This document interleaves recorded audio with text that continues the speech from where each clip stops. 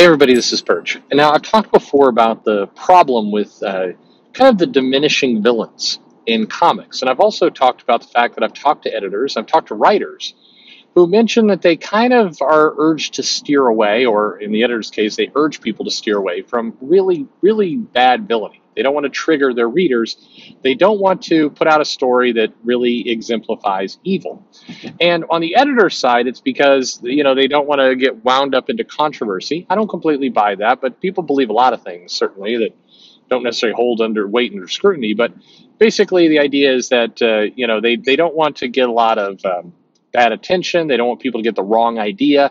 They don't want their readership to uh, be emotionally traumatized by a comic, which is uh, quite a difference from the days of, uh, say, Watchmen. But anyway, on the writer side, it's uh, all of those. You know, they want to conform to kind of what people are telling them to do and, and everything else. But in addition to that, and this is kind of the um, the part that has always made me scratch my head is they don't. Uh, they, there's a belief that if they put in a, a truly nasty villain that is not a caricature, not a, a you know obviously kind of parody, that the some readers, some people, maybe even some of their fellow creators, will assume they share the views of the villain. Um, something that I find profoundly weird because, you know, in the 80s, there were plenty of uh, stories that Mark Gruenwald did with, say, you know, Nazis and the Red Skull and, you know, various fascist characters. And I don't recall anybody running around saying Mark Gruenwald was, uh, was any of those things. I don't believe people call Louise Simonson a, a genocidal maniac for writing Apocalypse. Uh, that, that, that, seems absurd, but we do live in absurd times. Um, I, I was, uh, I'll take you away for comics for a minute, but you'll understand how it all ties back in together there's a debate going on at uh, my kid's school. This is probably the debate. Uh, this is one of the last debates of uh, before the kids come out and they're homeschooled or private schoolers. I mean, we're, we're at the end of this silliness. But the debate is basically around the Civil War. And the idea is can you teach slavery? And the decision that the school is making is no. We can talk briefly that slavery was a terrible, awful, inhumane thing but you know we can't really talk about it you know when we talk about the civil war we're going to kind of diminish it because we don't want to uh, accidentally give people a pro-slavery message. This is from an email that comes from the, the you know the superintendent. And I, I have a very i just have a really hard time understanding that logic. First off it frightens me a little bit. Are we worried that there's a way you teach the civil war to and this is uh, third grade, that you teach the Civil War to third graders in a way that is somehow pro slavery? How, how I, I, mean, I'm honestly curious. How, how, exactly, how exactly do you accomplish that? Like, what is being, what are you teaching? But I also think it's important for kids, and, and it definitely age appropriate type stuff, you know, but uh, you know, my older daughter's in sixth grade now and I think understanding evil, understanding the horrors of what was going on is actually a good thing for her to do. Not because I want to traumatize her, of course, but because you need to understand what evil looks like. It, it, it, the Civil War doesn't make a whole lot of sense if you ignore the slavery aspect of it. There's a lot of conversations going on in school right now about the critical race theory and all this other kind of stuff. But what's you know what's not in there are some basic you know things like for example um, some of the plantations in the south that got in the business of actually trying to uh, to breed more slaves so they could in turn sell them to places like Louisiana other other locations it's a truly evil thing. I mean disgusting terrible uh, absolute horror stories about that. I think you want to know that the side that was that, that got defeated was up to stuff like that. I think you want to know that the you know the, the the villainy and the horrors of slavery was something worth fighting for. That that many people, white and black, certainly gave their lives to defeat and to end. How is that sacrifice? How is that triumph over slavery supposed to work if you don't you show if you don't talk if you don't talk the evil and and are you worried that by talking about the evil you're somehow promoting it again that's bizarre to me extremely bizarre and so when we get to comics it does connect see how are you supposed to really celebrate heroism and the triumph over evil if you don't actually, you know, explain the evil. You know, one of the things that would make the Captain Marvel title absolutely the best. Uh, well, not the best, but just would improve the title dramatically. Put Captain Marvel against a truly evil, reprehensible villain, not one that talks snarky. Not uh, she's got this arch enemy that they've built up, this Vox Supreme character, um, who was originally part of, I guess, Donny Cates's run, um, and when he did that, the Death of the Inhumans. Um, but the character is is kind of quippy at times. Is like it's unclear what they're doing. Like I'm after supremacy ish with this goo. It's not a it, the villain is very weak, and as a result, Captain Marvel uh, is is is also weak.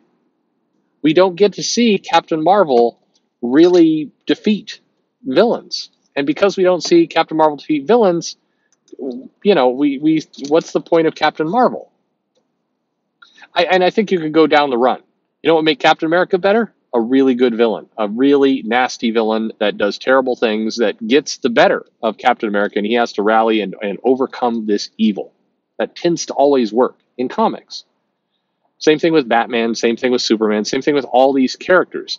The villain should be absolutely destructive, should be unquestionably evil, and nobody, no writer, should be worried that this villain character that they've created is somehow people are going to mistake them for that character. That again is bizarre.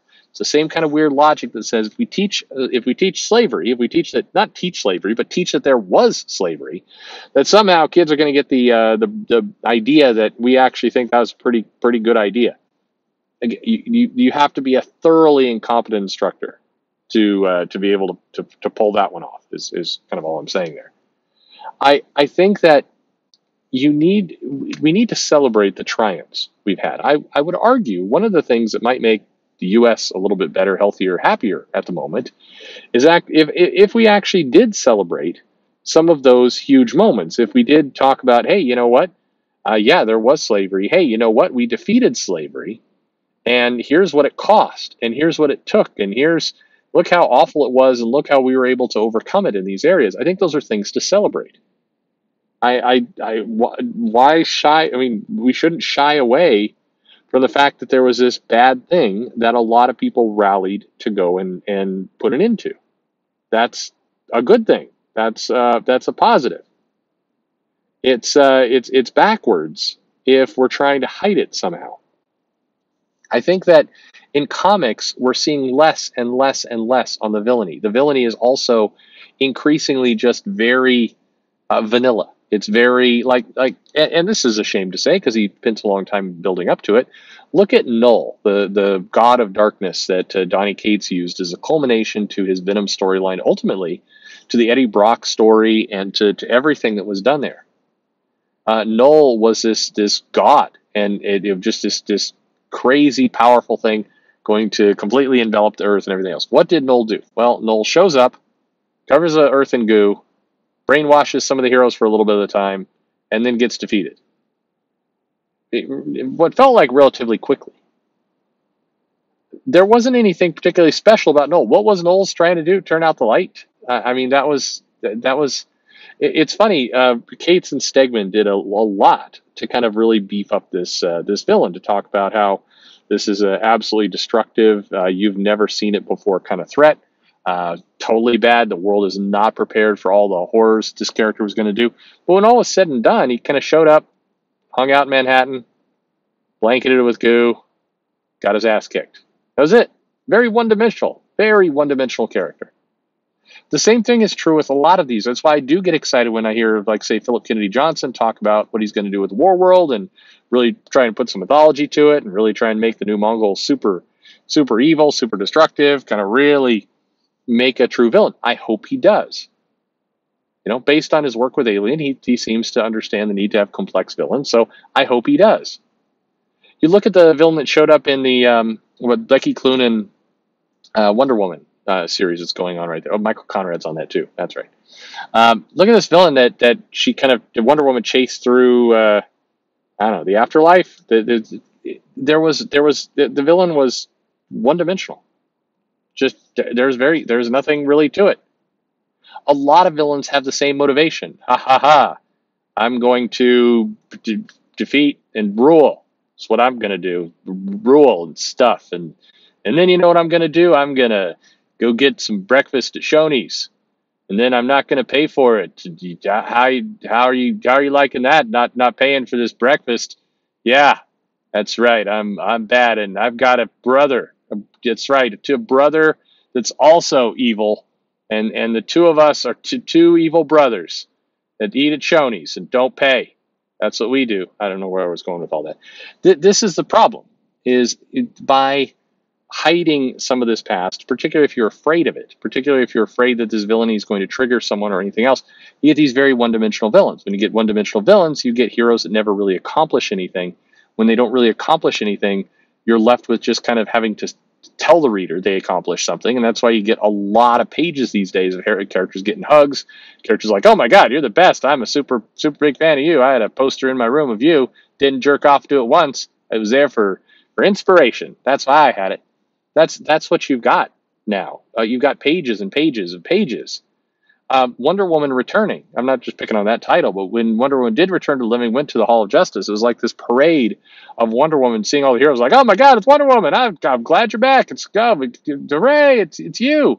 Now she'd been gone for what, like ten months? Sure, and or in in linear verse time, three minutes, and yeah, I'm sure it was very traumatic for people. But all the same, it's like we didn't get because the villain was so one dimensional when she returned, it wasn't like uh, there was any kind of big victory to kind of unpack. It was, hey, you're back. God, you're awesome. I always knew you'd be back because so awesome is what you are. It's you and your brother who eats at Shoney's. That, sorry, I, I'll just stop that right now.